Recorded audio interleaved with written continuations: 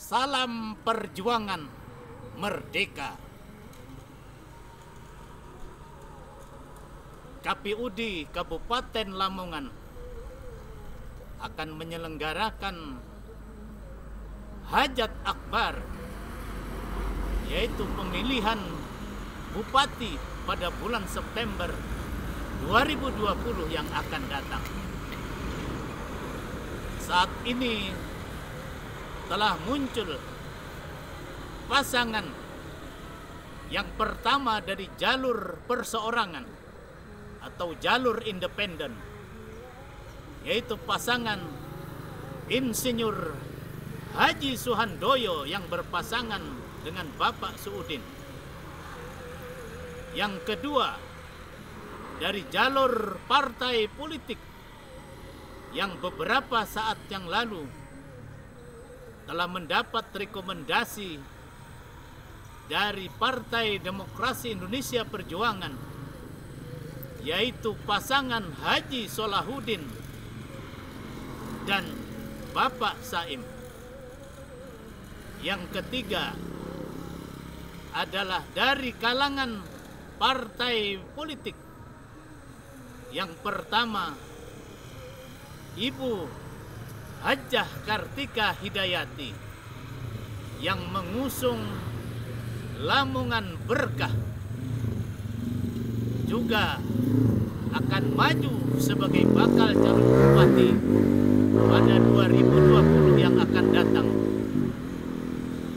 Sementara itu dari tokoh muda yang sehari-hari menjabat sebagai anggota DPRD Kabupaten Lamongan yaitu Bapak Dr. Andes Haji Husnul Akib MM yang sehari-hari juga menjabat sebagai Ketua DPD Partai Amanat Nasional Kabupaten Lamongan. Sementara dari kalangan birokrat muncul Bapak Dr. Haji Yuhron Nur Effendi MBA yang sehari-hari menjabat sebagai sekretaris kabupaten pemerintah Kabupaten Lamongan. Munculnya tokoh-tokoh partai politik dan kalangan birokrat akan menjadi sebuah kompetisi yang sangat menarik di kota Lamongan. Karena calon-calon ini adalah kader-kader terbaik di tengah-tengah masyarakat yang insya Allah akan mampu membawa Lamongan menjadi kabupaten yang maju, sejahtera dan berkeadilan.